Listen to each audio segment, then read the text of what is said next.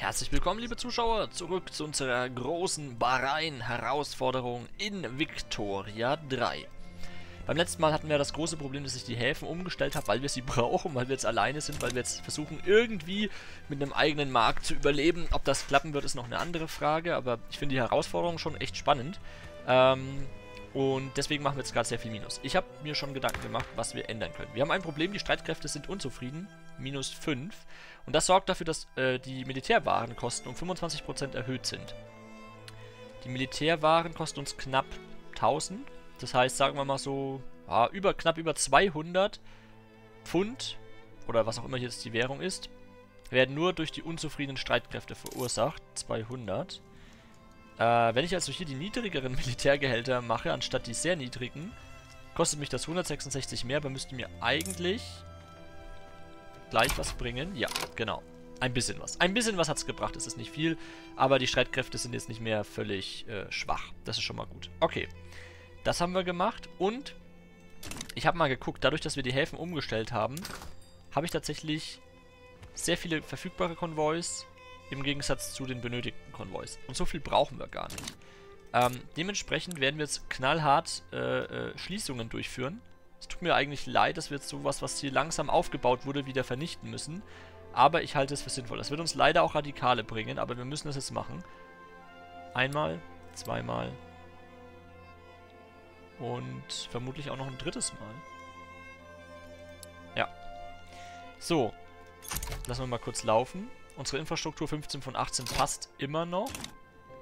Ja, wir haben leider jetzt einige Radikale dazu bekommen. Das ist nicht so schön.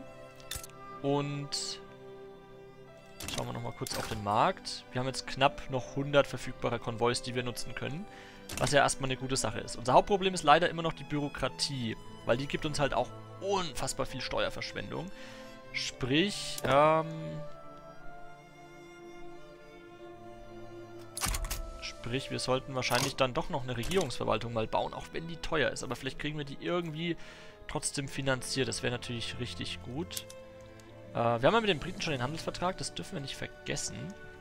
Äh, welche Handelsrouten kosten uns denn alle so viel? Vom Osmanen, Italiener, Italiener, Ägypter. Ja, Osmanen und Ägypter. Das wäre super, wenn wir da Handelsverträge ähm, hinbekämen. Aber das scheint, wieso auch immer, nicht möglich zu sein. Wieso ist das der Fall? Das Osmanische Reich ist kein Juniormitglied der Zollunion. What? Die Osmanen sind im italienischen Markt? Wie bitte? Okay, warte mal, das heißt, wir brauchen dann mit Italien... Ah, okay. Wir beginnen mit Italien mal die Beziehungen zu verbessern. Die sind jetzt hier aktiv. Deswegen sind die aktiv.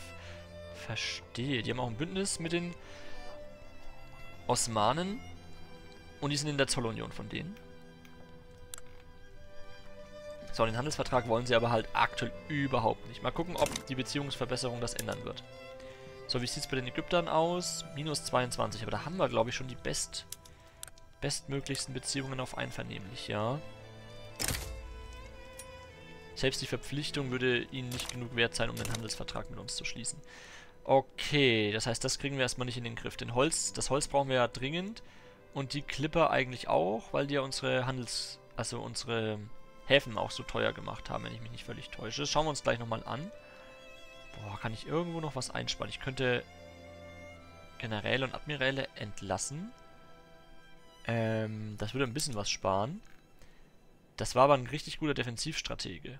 Den will ich eigentlich ungern entlassen. Wie sieht es bei der Flotte aus? Ich glaube, flottentechnisch, der war nicht so gut.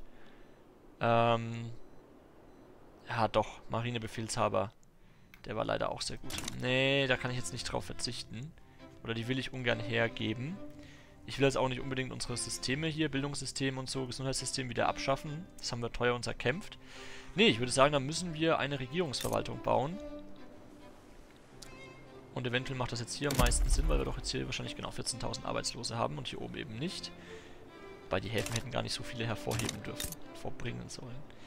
So, das heißt, wir bauen jetzt hier mal eine teure, teure Regierungsverwaltung. Mal gucken, wie viel... Wir sehen leider noch nicht, wie viel die uns kosten wird. Hängt davon ab, wie viel Papier wir auf dem Markt haben. Und wir produzieren ja keins. Dementsprechend äh, wird uns Papier fehlen. Aktuell verbrauchen wir noch keins, aber wir müssen irgendwie an Papier kommen noch. Haben wir eine... Ah, ne, ne, die Papierfabrik hatte ich mal ursprünglich geplant, aber das hat sich wieder erledigt gehabt. So, wenn wir so ein bisschen Minus machen, ist es nicht so schlimm. Dafür sind unsere Goldreserven stark genug. Das ist gerade so ein Hin und Her. Mit Plus und Minus. Ich, ähm, das können wir erstmal noch so akzeptieren. Okay. Italien hat aufgehört, die gegenseitigen Beziehungen zu verbessern. Das ist aber schade. Was, die sind jetzt vorsichtig geworden? Wieso? Italien, wir wollten doch nur gute Beziehungen. Wieso seid ihr jetzt vorsichtig gegenüber uns? Mensch. Ja, das ist natürlich sehr ungünstig. Das ist natürlich sehr ungünstig. Na gut. Ähm, die Regierungsverwaltung packen wir mal relativ weit nach oben. Ich baue erst noch die Bleimine bitte fertig. Sieben Wochen. Danach bauen wir die Regierungsverwaltung. Das wird leider auch super teuer werden, die zu bauen. Hm. Tja. Und wie sieht's aus? Die Intellektuellen hassen uns halt, minus 11. Beim Rest sieht's in Ordnung aus. Eigentlich nur die Intellektuellen sind das Problem und sind wütend. Was dazu sorgt, dass wir weniger Prestige haben, aber das ist jetzt erstmal nicht so wichtig für uns, äh, muss man ehrlich sagen. Langfristig ist es natürlich wichtig, aber aktuell nicht. Mal gucken, ob wir die Nationalmilizen bekommen können. Und was bekommen wir hier? Das Wagnis. Abd al-Karim ibn Wurd, das Oberhaupt der Intellektuellen, hat offen die Vorteile gepredigt, die ein geheimes politisches Wagnis unserer Regierung bringen könnte. Auf die Frage nach Einzelheiten lächelt er nur zurückhaltend und weigert sich mehr zu sagen. Das hört sich sehr interessant an. Abd al-Karim ibn Fuad hatte schon immer eine Vorliebe für Abenteuer und verdächtig große Hüte. Seine engsten Freunde scheinen diesen gefährlichen Eigenschaften keinerlei Beachtung zu schenken, doch einige angesehene Herren haben ihre Bedenken in einer leicht passiv-aggressiven Weise geäußert. Niemand würde je an einem ehrenwerten Bürger wie mir zweifeln, meinen Sie nicht auch? Okay. Eine von zwei Optionen wird eintreten. Löst das Ereignis das war Ah ja, okay. Wagnis Erfolg oder Wagnis Fehlschlag. Oder er verliert Verliebtheit. Ja, ich glaube, wir sind ein bisschen... Wir sind mal ein bisschen riskant unterwegs. Komm schon. Komm schon, komm schon, komm schon.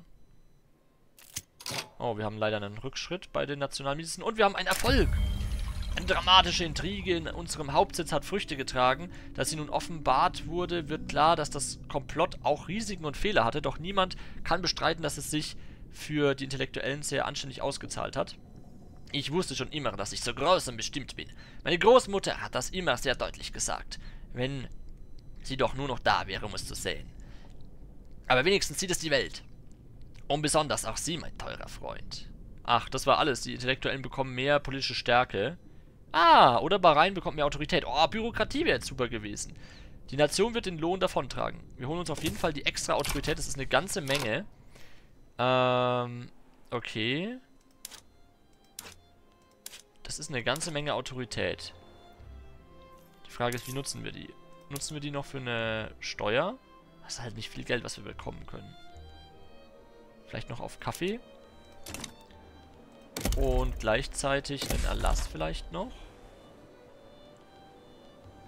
Ähm. Welcher Erlass macht denn noch Sinn? Bildungskampagne könnten wir theoretisch machen.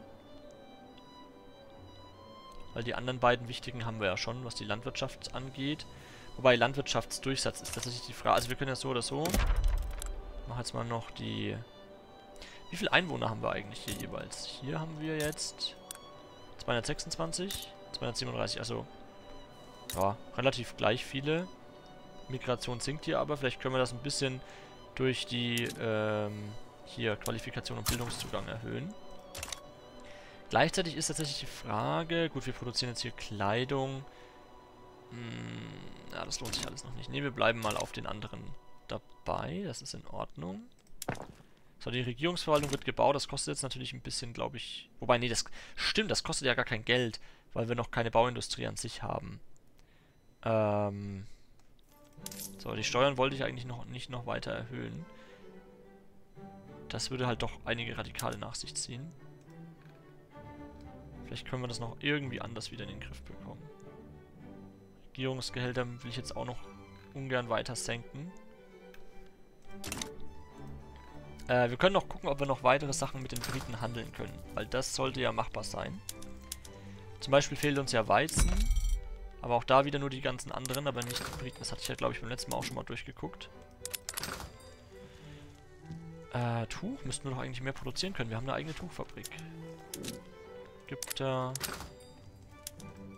Luxuskleidung. Die Briten, das würde uns aber ein Minusgeschäft bringen. Fisch. Auch das wäre ein Minusgeschäft. Werkzeug ist ja eigentlich ganz solide. Ich glaube, da brauchen wir nichts importieren.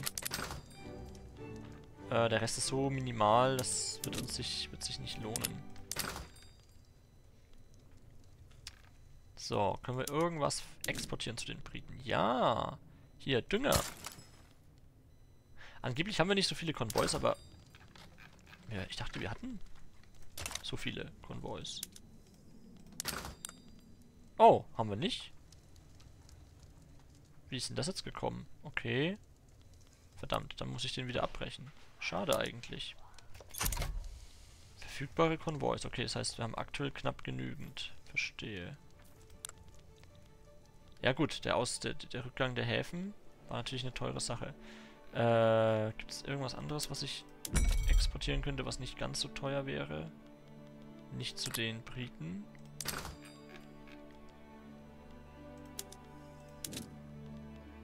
31 Konvois haben wir leider aktuell nicht zur Verfügung. Tuch. Will keiner von den Briten haben, leider. Fleisch in der kleinen Menge. Wir haben leider nur große Mengen. Na gut. Dann geht das jetzt erstmal nicht. Müssen wir es so akzeptieren. Und wie sieht es mit der Regierungsverwaltung aus? Die dauert natürlich Ewigkeiten, ohne eine Bauindustrie, eine ordentliche, bis die gebaut wird, das ist klar. Und ja, wir können jetzt schon damit rechnen, dass wir Papier brauchen. Und Papier braucht wiederum Holz. Und Holz haben wir zu wenig. Und ich kann aber nicht noch mehr Holz einkaufen. Weil das würde uns natürlich wieder Bürokratie kosten. Das ist ein unschöner Kreislauf. Wir, wir haben den Egalitarismus. Genau. Das, genau, gibt uns jetzt bei den Gesetzen, glaube ich, ein paar neue Möglichkeiten. So, das Bessemer-Verfahren bringt uns nichts, weil wir kein Stahlwerk haben. Ja, militärisch ist auch nicht so wichtig. Wie sieht es denn hier aus? Äh, maximale Rücklagen. Moderne Kanalisation. Infrastrukturverbindung durch die Bevölkerung. Das wäre gar nicht so schlecht, oder? Dadurch würde das ja verbessert werden, wenn ich das richtig sehe. Ne, wartet mal, wir brauchen ja irgendwas mit Bürokratie. Das können wir hier noch bekommen. Irgendwo, wartet mal. Äh, die Psychiatrie. Genau, Psychiatrie, minus 5% Bürokratie. Ja gut, Bevölkerungskostenmodifikator. Wie teuer ist denn der wirklich? Da, 20. Oder nee, durch Pops 18. Das heißt, wir würden uns 5% sparen. Das wäre ein Bürokratiepunkt. Also, ah, das lohnt sich irgendwie gefühlt immer nicht. Das ist zu weit entfernt. Da bringt man, bekommt man mal mehr Autorität, aber an, an anders an Bürokratie kommt man leider nicht heran, nicht wahr? Hm, Zentralarchive. Wobei, schalte das standardisierte Ablagesystem für Regierungsverwaltungen frei. Ja, es würde aber, glaube ich, mehr Papier kosten, was erstmal eh schwierig ist. Machen wir mal die moderne Kanalisation. Bringen wir die dort in, unsere, in unser Land. Das ist immer so ein Wechsel zwischen ein bisschen Plus und ein bisschen Minus aktuell. Gucken wir mal, ob wir das eine Zeit lang halten können. Wir haben eine unproduktive Handelsroute. Ja gut, aber ich brauche ja das Holz. Oder habe ich eine... Warte mal, das ist 20 Holz. Habe ich vielleicht eine produktivere aktuell? Produktivere, um an 20 Holz zu kommen. Ich habe eine aus Persien, aber nur 16 anstatt 20 Holz. Aber die macht, glaube ich, mehr Sinn. Deswegen würde ich jetzt die von Oman einmal aufkündigen. Weil sie unproduktiv ist. So. Es fehlt aber immer noch 16 Holz. Die könnten wir von den Ägyptern bekommen, aber das kostet uns halt auch gleich wieder Bürokratie. Und ich hoffe, dass das jetzt erstmal so irgendwie läuft. Einigermaßen. So, bevölkerungstechnisch geht es halt hier leider bergab. Besser mal verfahren, wie gesagt, bringt uns nichts. Wir warten auf die Regierungsverwaltung. Wie sieht es denn in den Minen aus, äh, die wir gebaut haben, in der Bleimine? Eigentlich ganz solide. Werkzeug ist leider sehr teuer, aber Blei bringt uns doch auch positiven Saldo. Ja, jetzt ist er wieder negativ, der Saldo. Lass mich mal kurz gucken. Ja gut, Nitroglycerin können wir vergessen. Mehr können wir eh nicht machen. Ja, ungünstig. Aber für irgendwas habe ich doch den... Für irgendwas habe ich doch das Blei gebraucht, richtig? Für irgendwas... Hatte ich das schon veranlasst? Lass mich mal überlegen. Dafür brauchen wir Färbemittel, die haben wir nicht.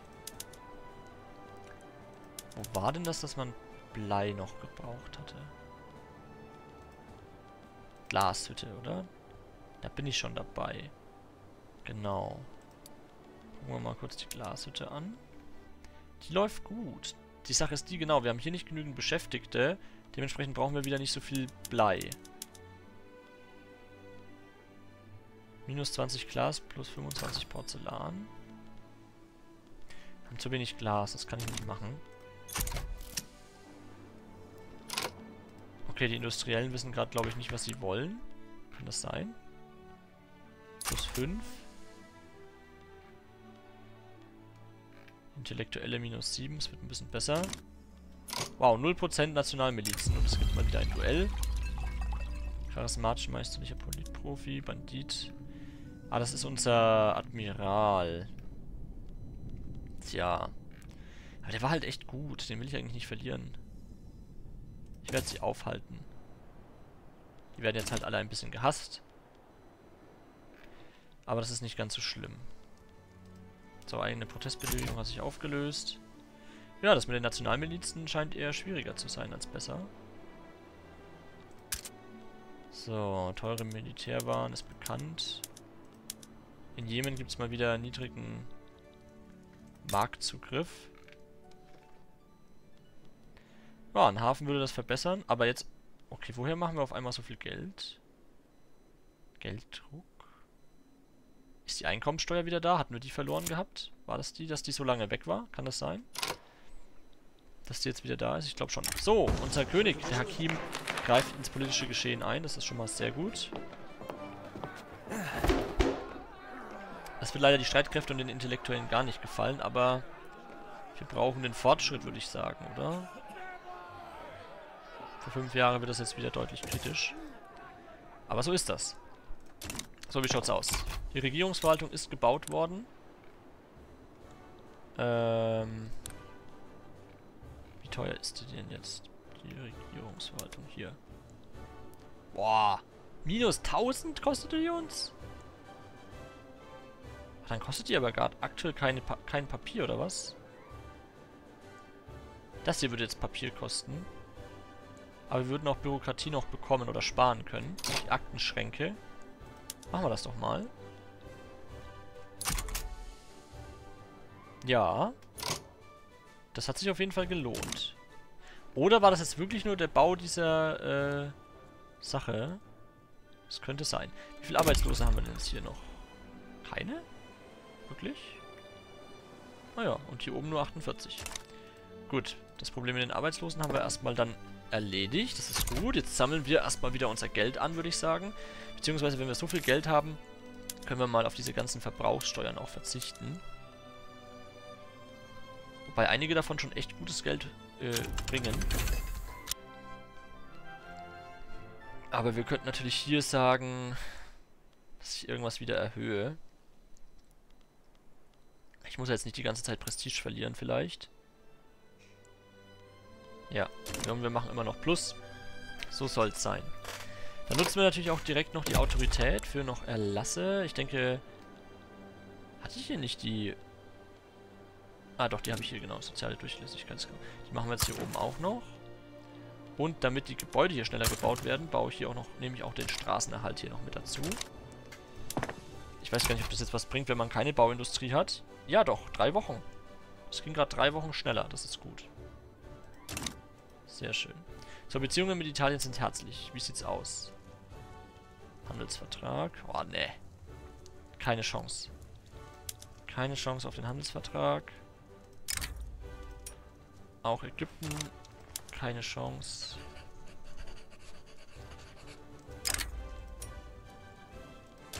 Auch beim Osmanen können wir wieder nicht der Zollunion beitreten. Handelsverträge geht eben nicht. So, Briten müssen wir immer mal wieder überprüfen.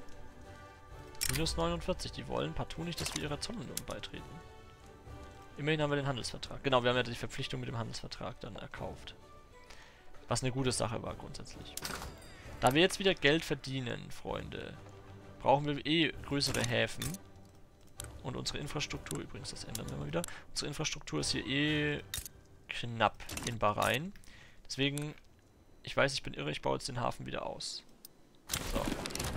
Wir haben eine Wahl gehabt, 85,9% für die Konservativen, 14% nur für die Liberalen. Natürlich nicht der Weg der Zukunft, den wir hier haben wollen, aber wir haben immer noch eine hohe Legitimität. Und da möchten sich noch mehr den Liberalen anschließen. Landbewohner und Streitkräfte. Wow.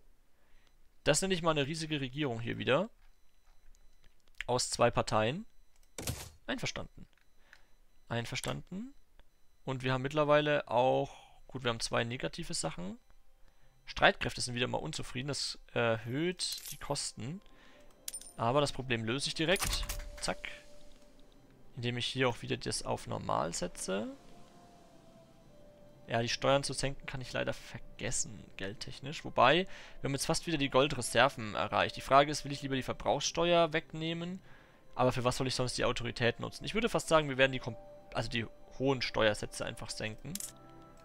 Und dadurch den Lebensstandard erhöhen. In der Hoffnung, ähm, dass wieder mehr Leute kommen zu uns. Genau, Fischereianleger und Schiffswerft bauen wir jetzt noch. Die Clipper-Routen sind aktuell unproduktiv, dann beenden wir die doch mal. Das bringt uns ja auch wieder mehr Bürokratie. Das ist in der Hinsicht auch gut. Ja, jetzt sind die Clipper aber doch wieder teure Regierungswaren. Ah, okay, ein paar mehr bräuchte ich. Aber wir bauen ja bald selbst Clipper. Ich werde mehr Holz benötigen. Das können wir schon mal angehen, das Thema. Uiuiui, 22 Holz fehlt mittlerweile. 17 kriege ich noch von den Ägyptern. Holen wir uns das. Das ist das Problem, dass wir selbst kein Holz produzieren können. Eine inspirierende und fesselnde Rede der Landbewohner für die Nationalmilizen. Es wird auch mal Zeit, dass die endlich eingeführt werden. Äh, machen wir das so. Plus 15% Erfolgschance. Jetzt haben wir fast 50-50 Chance. Was ist hier los? Der vertragsomanische Proletarier. Aufstand kann sich jetzt ein Diplomatiespiel an einem Diplomatiespiel beteiligen. Aha. Sind die... Ach, die haben hier schon wieder so einen Aufstand gemacht. Oder ist das immer noch? Nee. Ein neues Diplomatiespiel. Sehr interessant. Warte mal. Das wird uns angezeigt, weil es in unserer Region ist. Aber wir haben damit ja nichts zu schaffen. Genau, wir sind unentschlossen. Okay.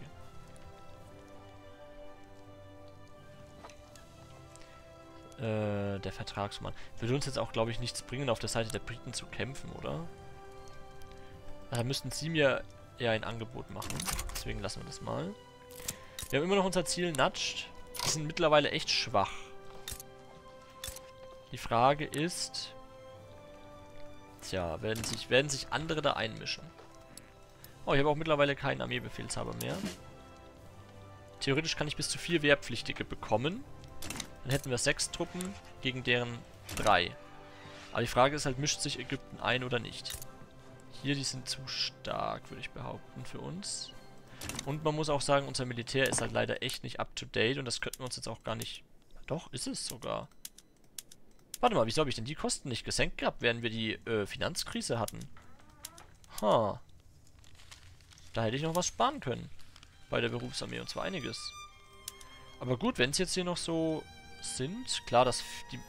Ja gut, die Mangelware wird aber wahrscheinlich Probleme machen, schätze ich mal, oder?